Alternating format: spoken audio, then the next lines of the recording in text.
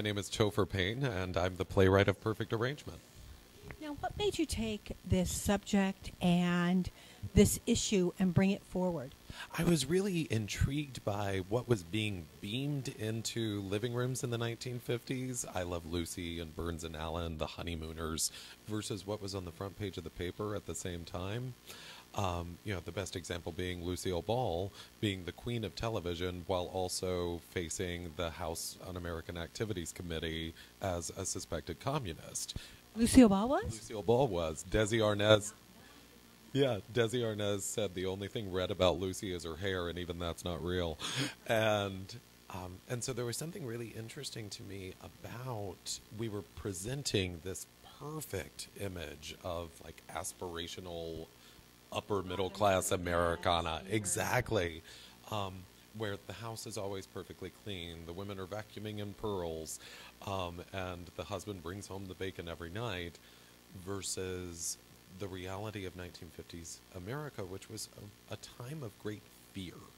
They were afraid of a lot of things. You know, we're coming right out of World War II, um, where a lot of things that we never thought could happen did happen with the attack on Pearl Harbor, with the number of lives lost. And so. At that time, weren't we also dealing with, there was a lot of hatred towards the Jews as well? Exactly. And so you have fear of Jewish Americans, fear of Japanese Americans, fear of Russians, fear of single women because the boys came home from the war and someone else had been doing their jobs. And they needed to send a message to American women that a woman's place is in the home. And so this whole image of the 1950s housewife came together. So I liked the idea of creating a play where people are consciously faking it and and are trying to present lives as perfect as those 50 sitcoms um, versus the reality of what's actually going on. I have a question. Nowadays, as much as we're out at per se, people are still faking it. Yeah. Why? Um, because this period, the Lavender Scare, um, which when I first read about it, I was so frustrated that I didn't already know about it. You know, um, this was a significant moment where we laid the groundwork for that fear of other, um, and I think I think a lot of a lot of what we're dealing with today is the world is changing. The world is changing very very fast, um, and we're finding ways to celebrate the diversity in America in ways that we never have before. Um, and there are people who are who have not been prepared for that, whose life experiences do not lend themselves to celebrating that, and they're afraid and they're reacting and they're looking for someone to blame for how they feel. Um, that's why theater matters, you know, because it gives us the opportunity to start a dialogue and to and a safe place for people to hear a story about lives different from their own. Think at this day and age that the stories are all being told? Like, I think that we're suppressing a lot of what really does need to be told. Um, gosh, that's probably that'll probably always be our challenge. You know, um, the uh, the beautiful thing about when you come to see a show, you know, really, churches and theaters are the last places where people will come, sit down, and shut up. When you make people laugh, they drop their defenses. And they're more given to listening because they want to hear what you're going to say next. Also, they say in, in comedy, the, the baseline is tragedy. Yeah, absolutely. These are very funny people in a very serious situation, which is probably true of all my shows. Are you planning on writing more and more about this whole subject? um, I am always interested in um, in the people who manage to go unnoticed.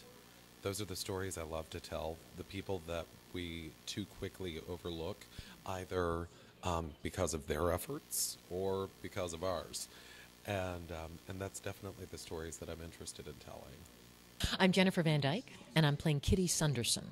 And can you tell us a little bit about your character and the journey that she takes during this play? Kitty Sunderson appears to be a very ordinary housewife who is married to a man who has a very high position in the State Department. She's very proud of her husband, very proud of being uh, a wonderful domestic partner. We don't call it that then, but um, but but very very proud of all the things that in the fifties seemed to be um, sort of of paramount importance: how to run a house, how to be a how to be a good housewife. But Kitty has rather astute observations about everything that she sees, even though she doesn't know what she's seeing in the other characters in the play. So she's not aware of anyone's the pairing up that really is happening in the play that it, it, all appears to be one way and it's actually something else. And kitty is not really aware of that but she has a lot of things to say about what she does see. And um, she's a great deal of fun to play. So, would you say that Kitty is the eyes and the ears of what America really was like? Well, this is the interesting thing. She's the eyes and ears of the sort of magazine version of America, but she's what what this what Topher Payne has created is a play where you realize that there's so many layers to what was really going on, the many different ways people are living lives. Even though there was a prescribed way to live a life, there were lots of other ways of living life. But but Kitty definitely fits into the more formulaic pattern. And you've done a lot of extensive TV credit, TV work. Can you tell us a little bit about it? I can, uh, living in New York for many, many years.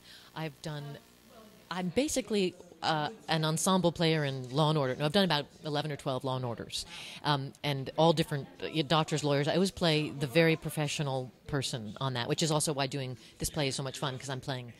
Uh, not a professional person, um, and then I've done all the shows that are shooting now. So Elementary and Blacklist, and um, New Amsterdam and Fringe, and uh, all kinds of things that are, and films that are shot here across the universe, and Michael Clayton, and all kinds of films that, that shoot here. And it's a great city. There's so much work happening right now.